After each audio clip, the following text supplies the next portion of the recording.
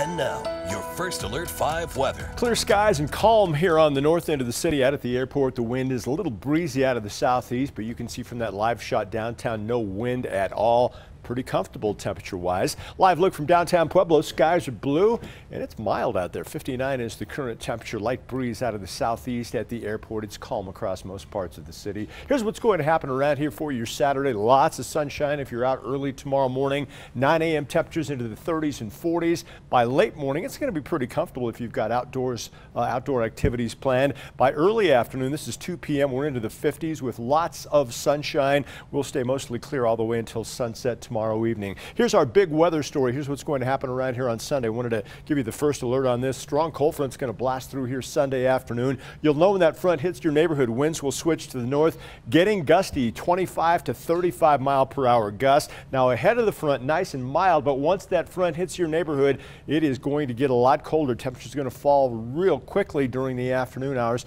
We could lose 20 to 30 degrees within just a couple hours during the afternoon on Sunday. Now tracking two different systems here over the next seven days. First one on Tuesday promises some good snow for the northern central into the San Juan Mountains. Maybe a couple of stray sprinkles late in the day around here. Now by next Friday, and I know it's a long way off, but another storm system on the weather maps. I think by Friday afternoon, good chance of seeing some snow across the higher elevations. This model wants to bring in some snow by late Friday night into next Saturday morning.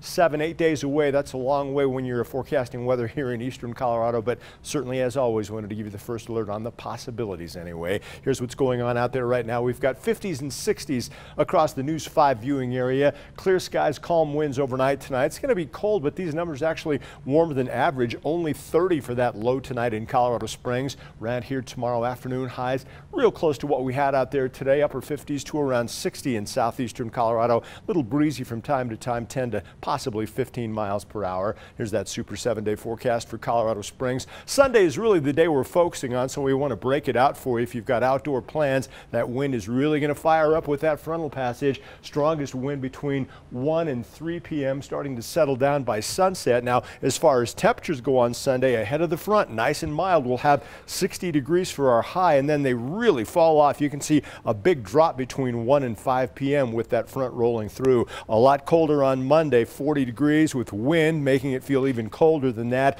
With that weak energy on Tuesday, we could see a passing shower or flurry. It won't be much. Most of the snow is going to be up over the higher elevations. And then when that next storm rolls in by Friday, snow possible once again. You can see the pattern starting to change finally across the area. Pueblo, a comfortable weekend. Look out for that wind Sunday. Windy again on Monday. Much cooler air, 20 degrees cooler on Monday.